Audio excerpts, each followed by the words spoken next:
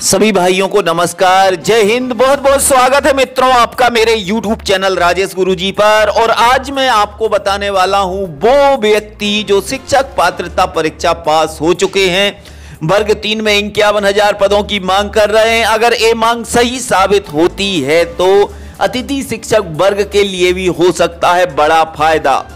और मैं आपको बताना चाहता हूँ, विधायक, मंत्री, मुख्यमंत्री और सभी के लिए एक ज्ञापन दे रहे हैं। यहाँ पर आप देख सकते हैं, प्रति विधायक और विधानसभा क्षेत्र और हर ज़िले के लिए एक ज्ञापन हर ज़िले में दिए जाएँगे।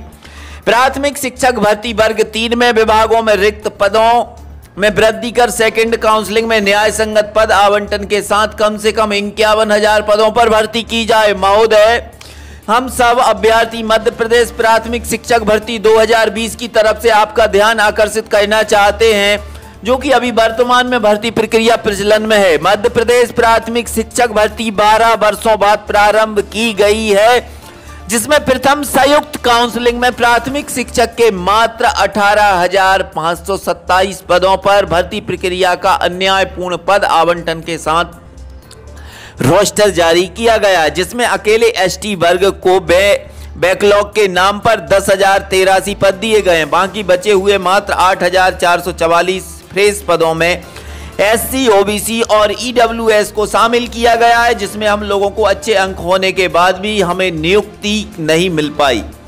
हाल ही में सोलह हज़ार चार सौ सत्ताईस पदों में नियुक्ति आदेश जारी किए गए हैं। वर्तमान में पाँच हज़ार पाँच सौ एक स्कूलों में कोई भी शिक्षक नहीं है। दस हज़ार तीन सौ चालीस स्कूलों में सिर्फ़ एक एक शिक्षक है, जिससे मध्य प्रदेश की शिक्षा व्यवस्था की बुरी तरह से प्रभावित है। हमारी प्रमुख मांग इस प्रकार से है। नंबर एक, मध्य प्रदेश प्राथमिक शिक्षक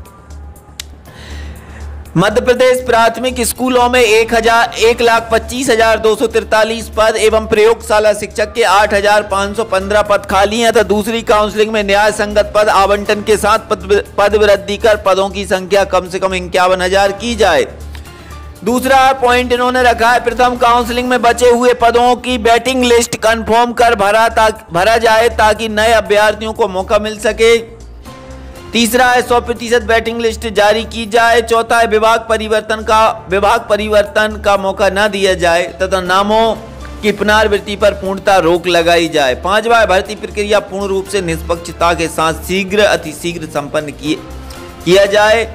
समस्त प्राथमिक शिक्षक पात्रता परीक्षा उत्तीर्ण। अभ्यर्थी, भाइयों, आपका क्या मत है? और अगर आप लोगों चाहते हैं कि वर्ग तीन में इक्यावन हज़ार पदों की मांग हो, या मध्य प्रदेश के अतिथि शिक्षक, जो शिक्षक पात्रता परीक्षा है उनका डायरेक्ट नियमितीकरण हो, जो भी आपके सुझाव हैं कमेंट्स के माध्यम से बताइएगा। बाकी अगर ऐसी वीडियो आपको देखना है, शिक्षक भर्ती से संबंधित, अतिथि शिक्षक भर्ती से संबंधित तो आप मेरे चैनल राजेश गुरुजी को सब्सक्राइब कर सकते हैं। डिस्क्रिप्शन में इंस्टाग्राम और फेसबुक की लिंक है।